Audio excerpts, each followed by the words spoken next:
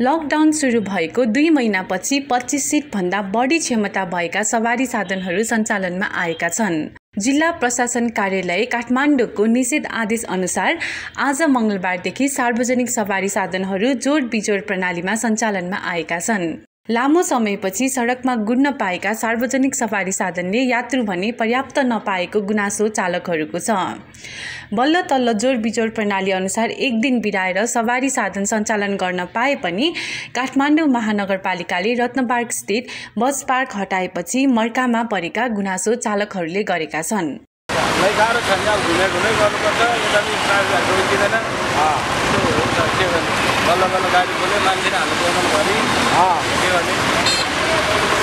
बाटो बाटो पाउँदैन सिट क्षमताको आधा सङ्ख्यामा यात्रु बोक्नुपर्ने र त्यही सङ्ख्या पनि पुग्न नसक्दा गाडी सञ्चालनका लागि आवश्यक इन्धन पुर्याउन पनि मुस्किल भएको उनीहरूको गुनासो छ।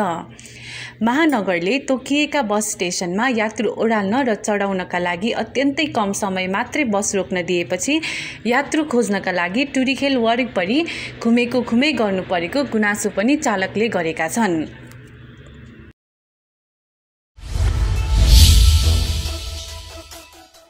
स्वास्थ्य तथा जनसङ्ख्या मन्त्रालयका अनुसार मङ्गलबार थप दुई हजार छ सय छत्तिसजनामा कोरोना सङ्क्रमण देखिएको जनाएको छ। पछिल्लो चौबिस घण्टामा सो सङ्ख्यामा कोरोना सङ्क्रमित देखिएको जनाएको हो।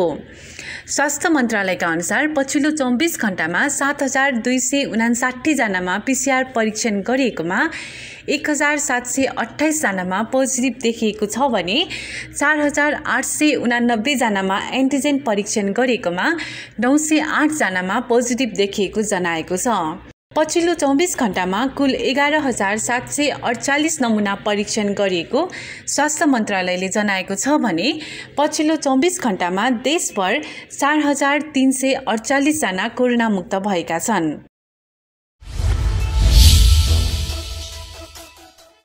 तीव्र उतार चढाव देखिएको सेयर बजारमा मङ्गलबार सडचालिस अङ्कको गिरावट आएको छ भने कारोबार रकममा समेत गिरावट आएको छ। मङ्गलबार सेयर बजार मापन गर्ने नेप्से परिसूचक सडचालिस दशमलव चार नौ अङ्कले घटेर दुई हजार आठ सय अठाइस अङ्कमा ओर्लिएको छ।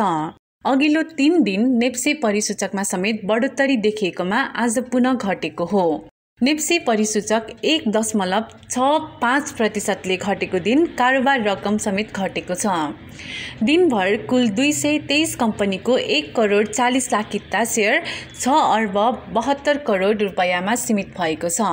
अघिल्लो दिन एक करोड बयानब्बे लाख किता सेयर सात अर्ब बहत्तर करोड पचपन्न लाख रुपियाँ बराबरमा किनबेच भएको थियो। नेप्से परिसूचक र कारोबार रकम दुवै उल्लेखीय घटेको दिन लघु वित्त समूहको परिसूचक बाहेक सबै समूहको परिसूचक राताम्य देखिएका छन्। लघु वित्त समूहको परिसूचक छब्बिस दशमलव चार अङ्कले बढेको छ।